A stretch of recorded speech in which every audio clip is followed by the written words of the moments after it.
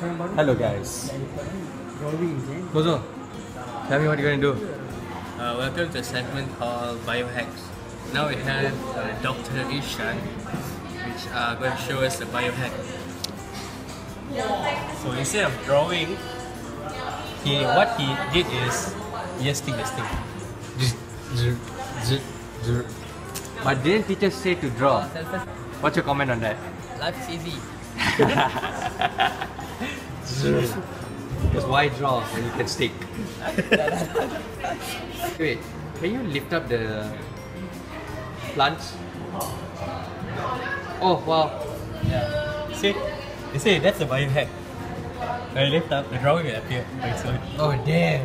So this is what they call biomagic. More, more will be revealed on biohacks next.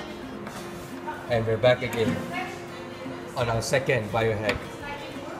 Now the question is, what happens when one magnifying glass is not enough to see your specimen? What do you do?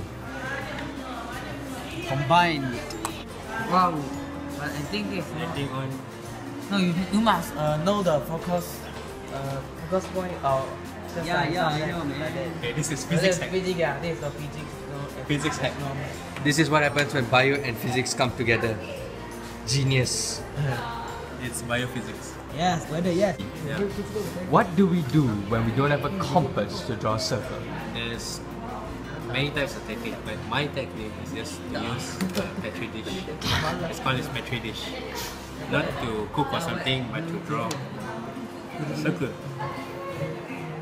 Perfect circle. That's how you do circle. And would you look at that?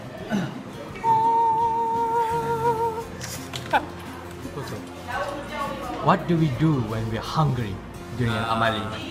If you're out of ingredients such as salads, you can use Selaginella species, which is called I don't know what leaf is this, but you can use. It's. Are, are you sure it's safe to eat? Oh. Adina, Dr. Adina, how does it feel getting choked on water?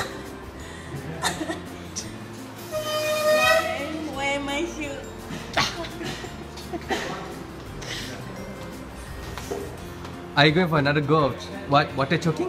No, it felt like I, I, I drowned. And that's why people you shouldn't choke on water. So, Please don't die of water.